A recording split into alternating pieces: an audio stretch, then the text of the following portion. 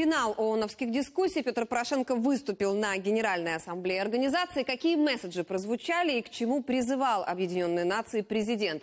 Дмитрий Анопченко слушал выступление главы государства. Более 20 минут на английском, чтобы и залы, западные СМИ поняли все без перевода. Президент Порошенко выступил в зале Генеральной Ассамблеи, и этот текст сейчас цитируют, разбирают, анализируют. Дипломаты рассказывают, что когда для президентского выступления такого уровня готовится черновик, то в нем всегда есть две части. Одна так называемая ООНовская, там фразы, обороты, предложения, которые главы государств традиционно говорят с трибуны Генеральной Ассамблеи. Ну и, конечно же, есть еще часть содержательная. Так вот, в содержательной части выступления Петра Порошенко были слова о необходимости противодействия России на Азовском море, о необходимости миротворческой операции для Украины и о том, что нужно реформировать саму Организацию Объединенных Наций, забрать право вето у страны, которая им злоупотребляет. Говоря о миротворцах, президент попросил ускорить формирование миссии на Донбасс. Это должна быть миссия с мощным мандатом и широкой ответственностью. Миссия, которая будет способствовать возвращению мира на украинскую землю, а не только поможет заморозить конфликт или закрепить присутствие агрессора и его приспешников на Донбассе. Серьезной опасностью Порошенко называет нынешнюю ситуацию на Азовском море и заявляет, что целью России является его оккупация.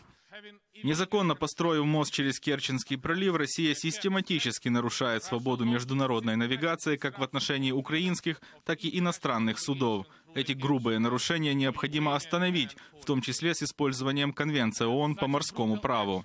Сказал президент, пояснив, что действенной мерой влияния на Россию должно быть усиление санкционной политики против нее. Одновременно Украина предлагает провести межправительственные переговоры, чтобы согласовать общий документ, который изменил бы правила применения права вето в Совбезе ООН. Какими должны быть наши действия, если член Совета Безопасности, обладающий правом вето, использует его не для того, чтобы способствовать международному миру и стабильности, а чтобы помочь себе избежать ответственности? Пришло время сказать, злоупотребление правом вето — это тормоз, мешающий нашей организации действовать в полную силу. Слово, которое в выступлении украинского президента звучало довольно часто, на котором он делал особое ударение, это ответственность. Петр Порошенко говорил о том, что если Россия не понесет ответственность за все, что она сделала, если страны, которые нарушают международное законодательство, не будут нести ответственность, то в этом мире мало что изменится. А должно бы. Глава государства выразился четко. Отсутствие наказания как раз и привело к тому, что за нападением на Грузию последовала атака на Украину, за отравлением Литвиненко последовало дело Скрипалей.